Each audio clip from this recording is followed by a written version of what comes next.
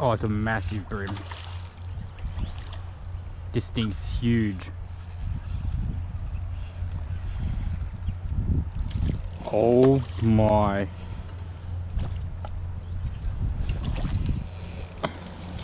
I don't know how I'm gonna get him up. Got him. Look at that. Look at that, fellas. I got a bream 37 centimeters on the little bloodworm grub, 120th jig head, fishing at the pipes along the Maribyrnong.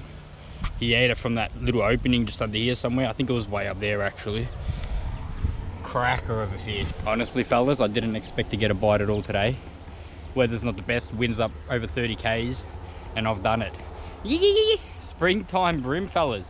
Get down to the Nong, throw some lures. It's obviously working. I'm gonna get him back and keep walking along this bank. Surely you're gonna like the video at least for that fish catch and hit the subscribe button. That's closer towards the end as I get a couple more. And if I don't get a few more, you should subscribe anyway because uh, I'm out every day of the week practically fishing for you guys and getting you content. So the least you can do is uh, give me a bit of support. So let's let him go. yeah, yeah, yeah. Have a look at that, fellas. What a cracker of a bream. Let's let him go. And surely you can at least like the video and subscribe to my channel for uh, this fish catch alone. What a cracker.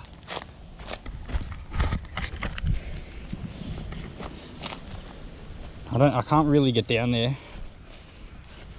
Like that's a cliff. But I might be able to just place him in. Not really, but he's gone. But let's get a couple more fellas. I'm excited.